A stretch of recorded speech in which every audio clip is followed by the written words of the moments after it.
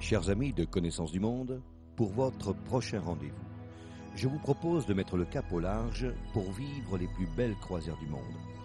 Dans les fjords de Norvège, vous contemplerez les plus spectaculaires paysages maritimes d'Europe où cascades et glaciers se mêlent dans une symphonie de roches et d'eau vive. En mer des Caraïbes, vous succomberez au charme irrésistible de ces îles paradisiaques.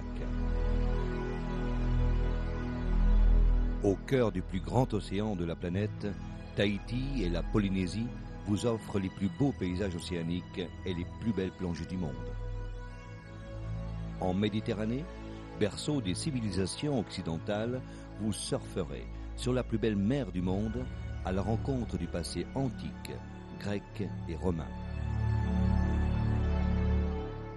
Au fil du Nil, je vous conterai la fabuleuse aventure de l'antique civilisation égyptienne et les anecdotes croustillantes de l'historien grec Hérodote. Géographie, histoire, archéologie, nature, musique et poésie seront à l'honneur dans ce nouveau rendez-vous inédit de connaissance du monde.